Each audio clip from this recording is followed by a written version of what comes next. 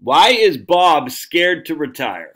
This we need to do a deep dive psychological analysis here because it's not just Bob. I get emails like this all the time.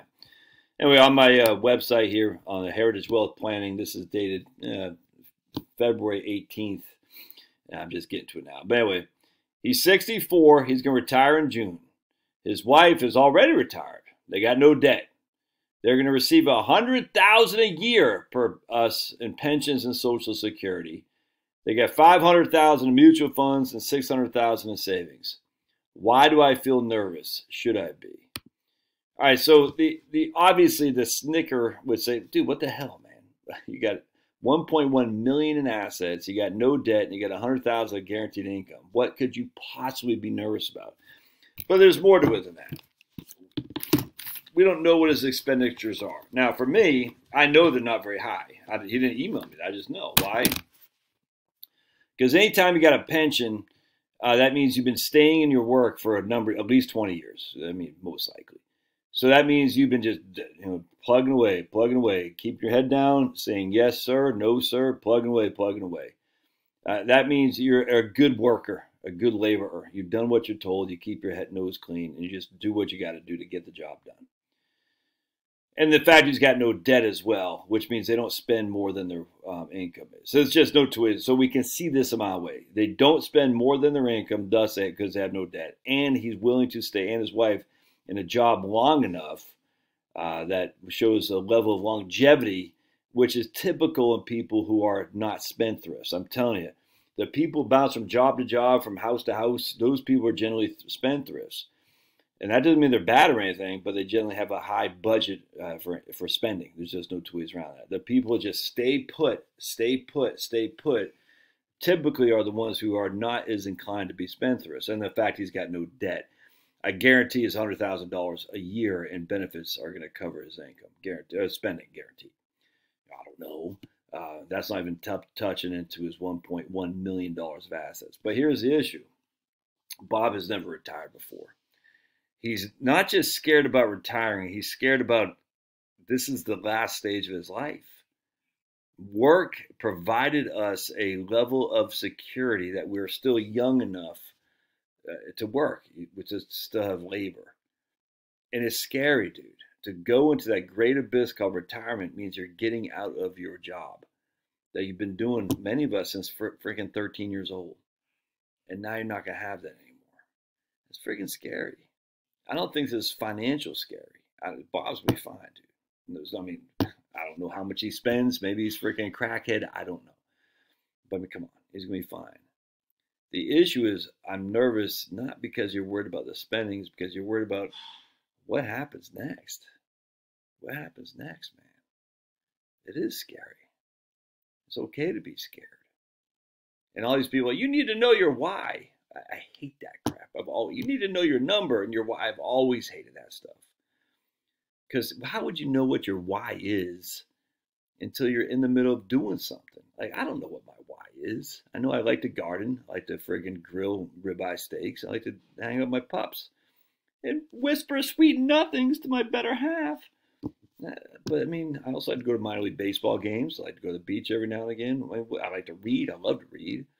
I kind of like to write. Can't say I love it. I, I can't say I enjoy it, but um, I do it. Point being is that you don't know why would what would your why be like? I mean, unless you know I want to freaking my man Jeremy Rose, uh, yeah, up there in Maine. He takes out the freaking engines from an old Jeep and puts in his new Jeep and all this stuff. He loves that stuff, dude. He's me pictures. Very proud of his modeling of a Jeep.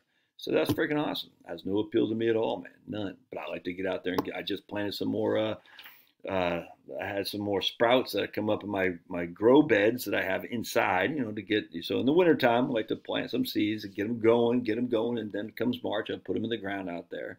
See, I love that stuff. Jeremy might not like that. But I mean, what's is my why that? To go out there in the garden? Yeah, I wouldn't say it's my why. Is that my reason to live? Not necessarily, but that's something I enjoy. Anyway, the point being is I wouldn't retire just so I can go garden all day long because, you know, there's only so much you can do in a small backyard garden. Um, but for Bob here, he's like, I'm 64, dude. I don't. I'm a man. I've been my whole my whole life has revolved around my job, and now the job's no more. It's freaking scary. It is. And I wish I had an answer for you, man. I wish I had an answer. Um, but financially, you're fine. It's just going to be what do you do mentally when you have all this time on your hands? And this is the issue I think we have in this society where everyone is like so politically focused. Like, what's Fox News? What's CNN? Man, uh, that that's not going to do you any good. What's the last time you actually read a book?